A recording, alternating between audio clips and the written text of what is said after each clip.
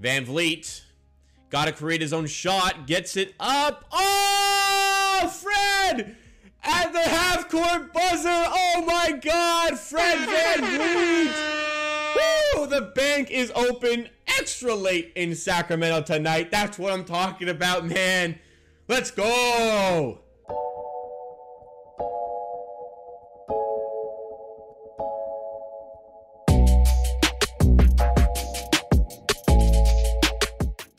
The Toronto Raptors have won. Oh, it fucking isn't working. Oh, no. Winner. No! I tested it. Oh, there it is. There it is. It's working now. Congratulations, Raptors. End that three-game losing streak. And here we go. Fat, fat, fat dub against the Sacramento Kings. 108 to 89 is your final score in the huge bounce back game for Pascal Siakam. I always stick my neck out for this guy, and he always returns the faith by putting on a good game, and today was that game. Wow, what a performance for Pascal Siakam. Let's get to 50 likes in this one. Like up for the Toronto Raptors win today, please. So let's get into our post-game show for today. The Raptors bounce back and finally get a win. I love it. They were so good tonight. It was a much-needed bounce-back game for the Raptors. Some great individual performances, but an even better team performance. We finally get some help from our bench. The starters play excellent. We refine that defensive identity. I don't care. It was against the Sacramento Kings. The Raptors needed this. Pascal Siakam needed this because he was spectacular. Absolutely spectacular. Pascal Siakam had 32 points, 8 rebounds on, oh my god, 10 for 12 shooting, 3 for 3 three point shooting, 32 points on 12 shots. Are you kidding me? Gary Trent continues his great stretch of games 8 for 17 from the field, 5 for 11 from 3, 23 points. Fred, solid. Could be better, but hey, that's fine. Khem Birch influenced so much for this team. Barnes, off night again for him. Hopefully bounces back next one, but a lot of guys covered him up, like Chris Boucher, who had a great game off the bench. 10 points, 12 rebounds, finally had a productive game. Achiuwa was solid in his role.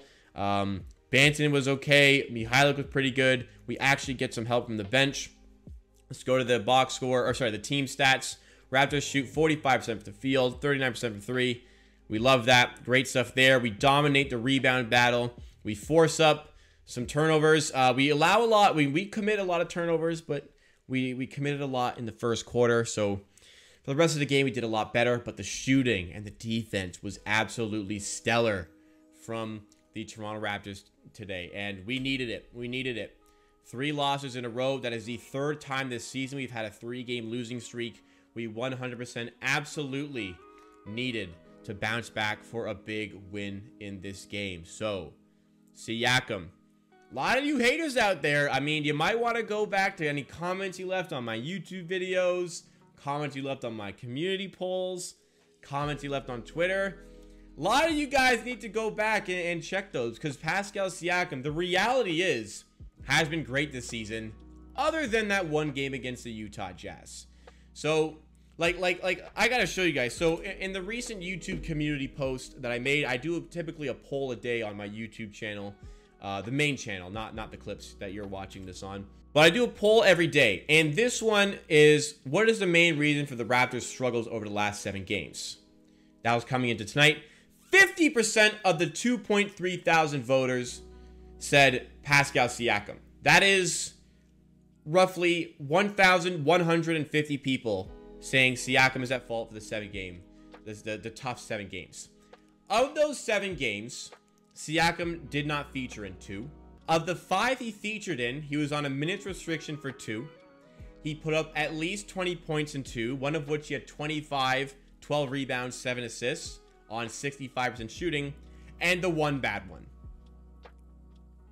Has Siakam at fault? Well, today he shuts up the haters. Was an uh, utterly sensational performance. He was aggressive. He had two early turnovers in the game. Two early turnovers in the game that made us question, oh, Siakam, like he needs this bounce back game, but like, are we going to find it here?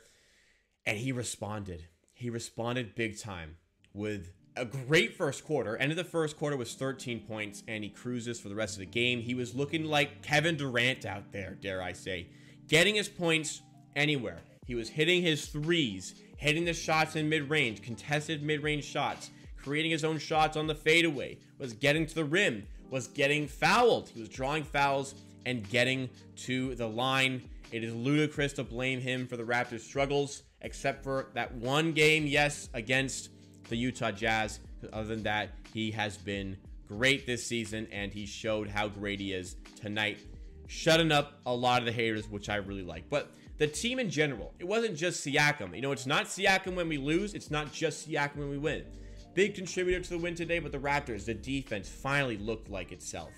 Hounding defense, the help defense was a lot more assertive today. We were a lot more committed to closing out on shooters, a lot more committed to the rotation. Obviously, it fell apart in some places, but there was a lot more of a desire to make it work today, which is what I really liked about the performance on defense.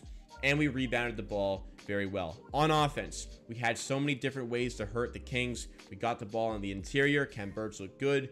Gary Trent was shot creating for himself. Fred VanVleet was an excellent, excellent playmaker today. And obviously, the way Pascal Siakam played was great. So, ending off that three game losing streak, that's three different three game losing streaks this season. So, the Raptors got to work on bouncing back from losses because we got a tough game coming up against the Golden State Warriors on Sunday. Um, they're the best team in the NBA right now. They've got the best player in the NBA right now in Steph Curry.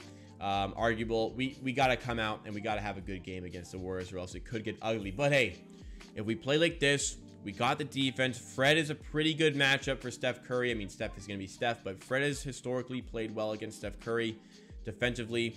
So let's hope for more of that. And let's see what we can do in that game against the Warriors. Because the Raptors have the ability to surprise. But let's not get too ahead of ourselves from one game, especially against the Kings.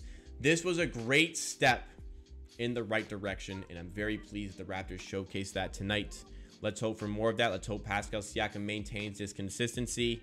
Draymond is going to be a tough matchup, but Siakam, he he does tend to do okay against Draymond in those matchups. But um, you know, let let's appreciate this win. The Raptors needed it. The Siakam needed this game, and I needed this win. I was starting to really have my doubts, but we really needed this win to to to show off and just feel good about. Go into the weekend feeling good about this win. Go to bed tonight feeling good about this win.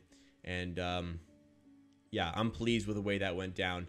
What a win for the Raptors. Thank you so much for watching. If you want a post-game show for every single game, the immediate post-game show, subscribe to this channel. And if you want to see a more in-depth breakdown, you can check out the Amateur Sports video coming out tomorrow regarding this game.